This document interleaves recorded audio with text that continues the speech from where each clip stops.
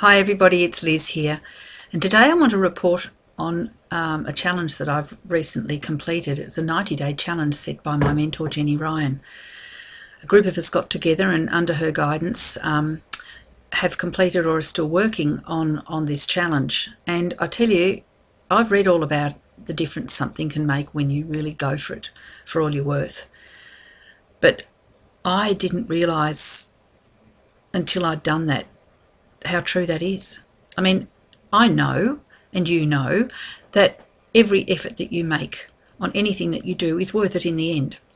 But to completely um, commit yourself to something that is um, outside your comfort zone, to want to learn, to have the support of uh, a team while you're doing it, it's just absolutely brilliant. I've had a wonderful time.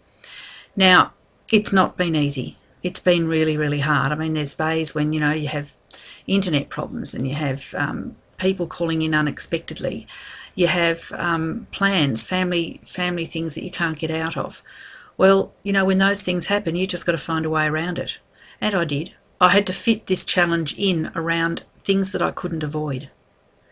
On the other hand, you know, my, my husband and my family who don't fully understand what I'm doing and why I'm doing it, they've been terrific in supporting me as best they can. I've refused phone calls. I've refused to answer the door.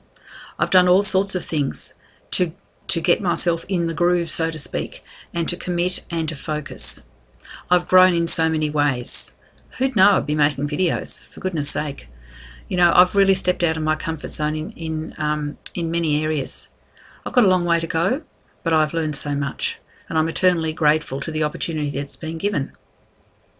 On my blog below this video, you'll see the stats from my 90 days. It's quite incredible, really um, what the difference has been in, in the 13 weeks that this has been going on.